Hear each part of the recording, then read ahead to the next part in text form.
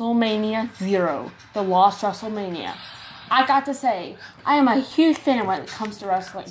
WWE is like home for me. Seeing my favorite wrestlers, it was just a heartwarming experience. One day I walked to a store that had a huge going out of business that had a huge going going out of business sign. They offer everything at the store for 75% off. And then I saw it. Lots of wrestling merchandise. I, I even found a couple of classes like WWF in Your House, Armageddon, Valentine's Day Massacre, and, Unforg- and even Unforgiven and Backlash. I saw another old classic that I love dearly. I still have it in my collection today. It was WWE Judgment Day 2003 and one of the best out of WWE about out of Judgment Day ever in my opinion. I even saw some current WWE merchandise. I saw The Beast in the East, WWE Payback, WWE Fastlane, and even TLC and some, and also Elimination Chamber and Royal Rumble. Just then it caught the corner of my eye. A WrestleMania box set. I was like, a WrestleMania box set? Oh yeah, I must have this. I went up to the cashier and paid me for the WrestleMania box set. It said on the DVD box set that it included every single WrestleMania pay-per-view event. When I got that com, I put it in my Xbox One. The screen was black for four minutes straight. No WrestleMania content whatsoever. After four minutes of a black screen, the FBI warning screen showed up. Five seconds later, it disappeared and the WWE home video logo appeared. The main, the main menu screen showed pictures from of matches from some WrestleMania events. I looked I selected the event selector. It stunned my eye. Every single WrestleMania pay-per-view event ever aired on television and on WWE Network was on this box set. WrestleMania 1, 2, 3, 4, 5, 6, 7, 8, 9, 10, 11, 12, 13, 14, 15, 16, 17, 18, 19, 20, 21, 22, 23, 24, 25, 26, 27, 28, 29, 30, 31, 32, and 33 were all on there. My favorite was WrestleMania 2, and in my opinion, one of the best ones. So my curiosity got the best of me, and I looked for a secret hidden WrestleMania. It showed up nothing. I kept trying to do it, but nothing happened. After five minutes of trying, I gave up. But just as I was about to leave, my controller started moving on its own. It kept going right, but nothing happened. But just then, it tried to find another solution to the problem. It went left.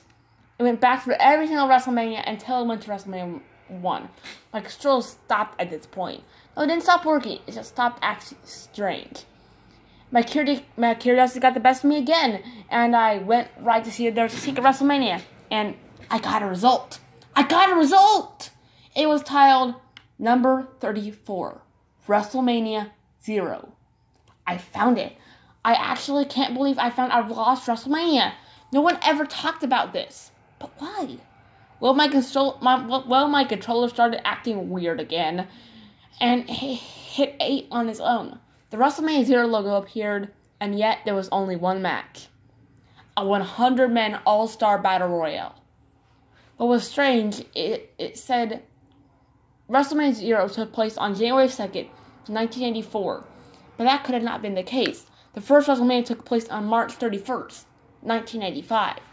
I went ahead and selected the All Star 100 man All Star Battle Royale. Of course, Battle Royale has started with Arizona men in the ring. Of course, that's what happened here's here's something of what I saw. I kept going back back onto the match daily. Day one. Match starts off normally. Every wrestler gets a few hits to another one. Somehow Andre the Giant was the first one to be eliminated. How could Andre the Giant be eliminated so easily? The Million Dollar Man Ted DiBiase was in this match, as if he's familiar, like ha ha ha ha ha, seen in the Attitude Era. Day two. I'm starting to see current day wrestlers in this WrestleMania battle. How could the Big Show be in WrestleMania this early? He didn't even, he didn't come around to the Attitude Era. Now, now I am positive of it. I am positive of it. The Big Show got eliminated just as easily as Andre the Giant did. Was this WrestleMania supposed to be a big setup, or was it something darker?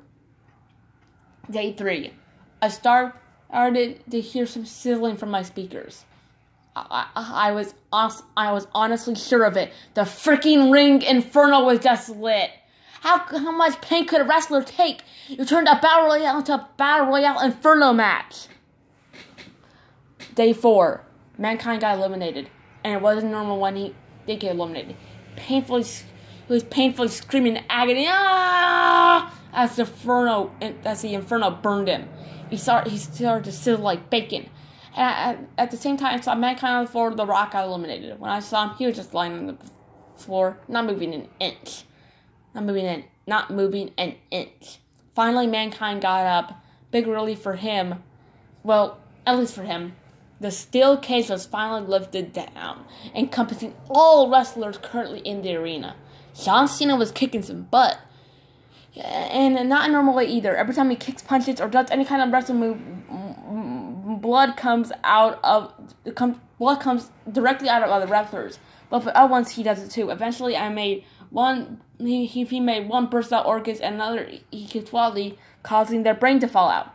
I thought to myself, I am never viewing this haunted thing again.